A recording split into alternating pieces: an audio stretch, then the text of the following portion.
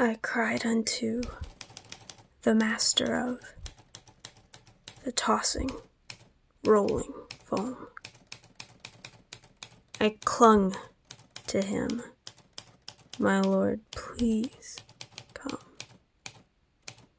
so I can find my home. The waves increased. I thought that soon I'd be forever lost. I cried again to my captain Save me at any cost. But still, the waves increased in strength. Surely my ship will fail. Surely the wind will blow me past an inlet in this gale.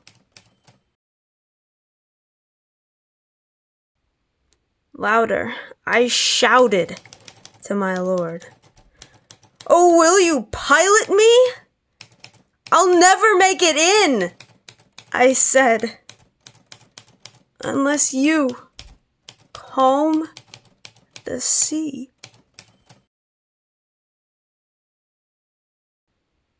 I waited through the dark till dawn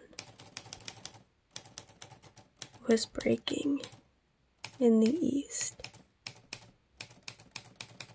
It seems as though I see the wind and mighty waves may cease.